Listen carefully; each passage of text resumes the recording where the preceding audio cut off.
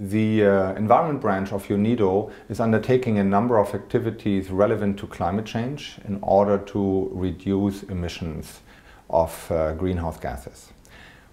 Part of the activities relate to the more careful use of resources, which includes energy, but includes also a large amount of other resources, which are related indirectly to energy because there is energy involved in producing them and uh, making them ready to be used by industries.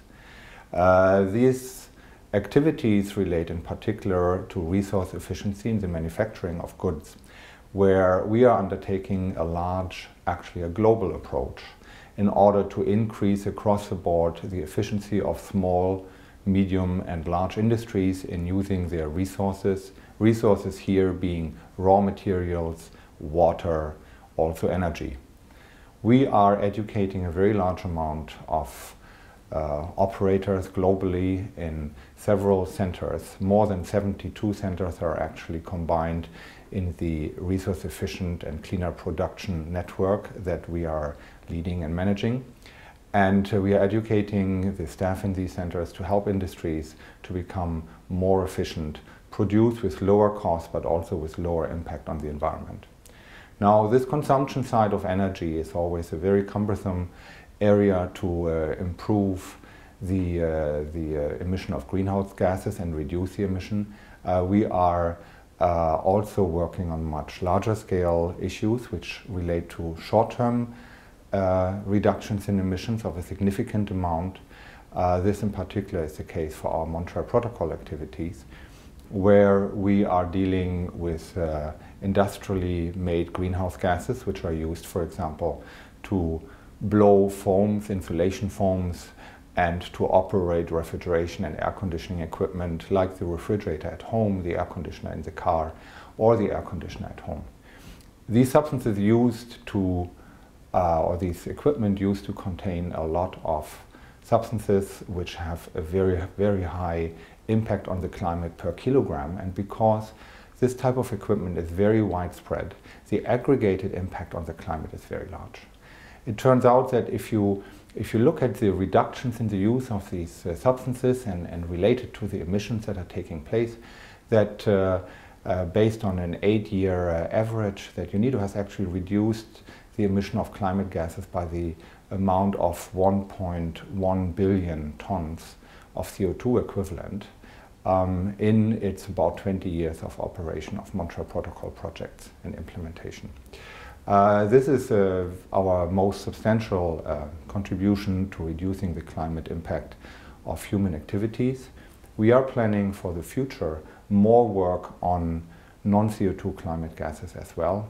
In particular, we want to use the uh, experience that we did in implementation of the Montreal Protocol where we dealt with uh, pesticides in agriculture to deal with another climate gas in agriculture, which is nitrous oxide. Nitrous oxide is emitted when you're using fertilizer and the fertilizer is not completely absorbed by the plants. Uh, part of that is runoff into rivers and actually leads to algae, but part of that is uh, going into the air as nitrous oxide and contributes to the increase of global climate change.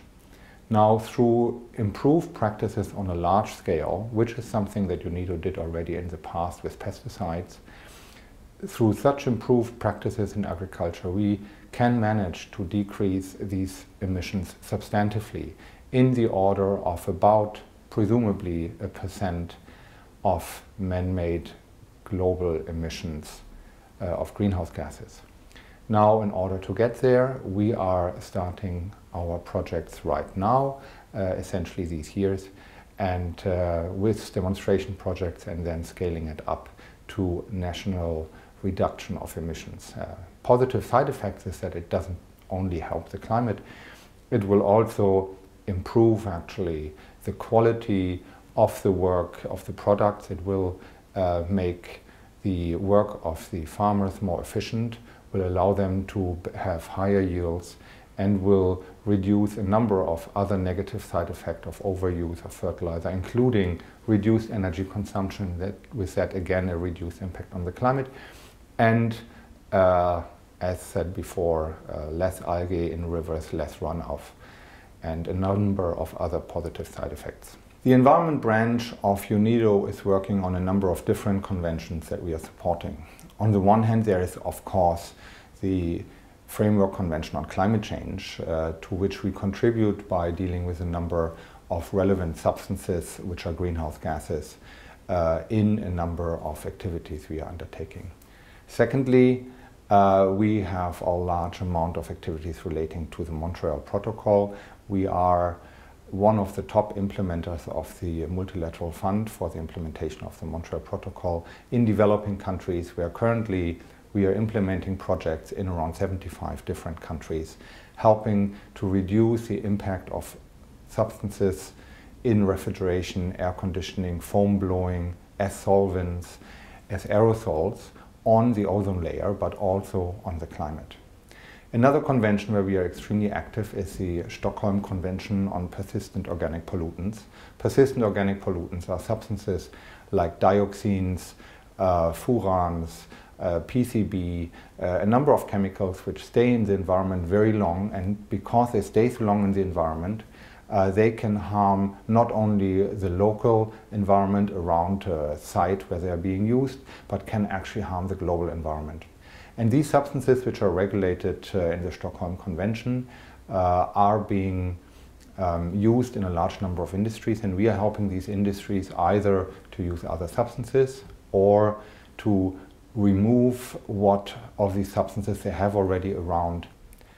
We have just started our work on the Minamata Convention on Mercury. Minamata is a convention which is just being ratified and uh, in this convention, we are dealing with the use of mercury and with the uh, mercury emission into the environment.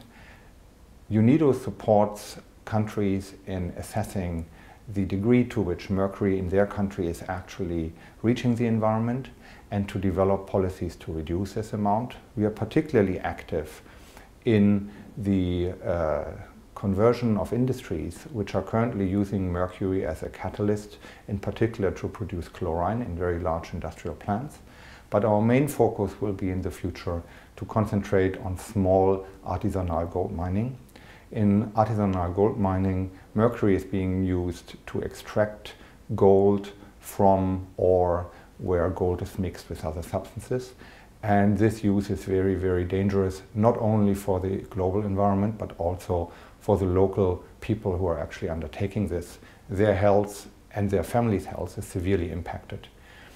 UNIDO is helping these people and their related communities to implement and use technologies which do not need mercury, which lead to a higher yield, which will improve uh, the livelihood of the communities not only by removing the threat of uh, health scare like mercury is, but also by improving their economic livelihood and helping them to get out of poverty through all through programs which are related to reduce the use of mercury as a globally hazardous chemical. This is another very strong involvement that UNIDO has in uh, upcoming environmental convention.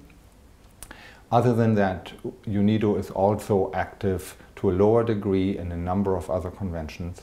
Uh, this relates, for example, to conventions dealing with uh, large marine ecosystems where we are doing implementation in order to improve livelihood in the seas, to improve fish stocks, to help fisheries and tourism to continue using healthy marine ecosystems in order to conduct their business.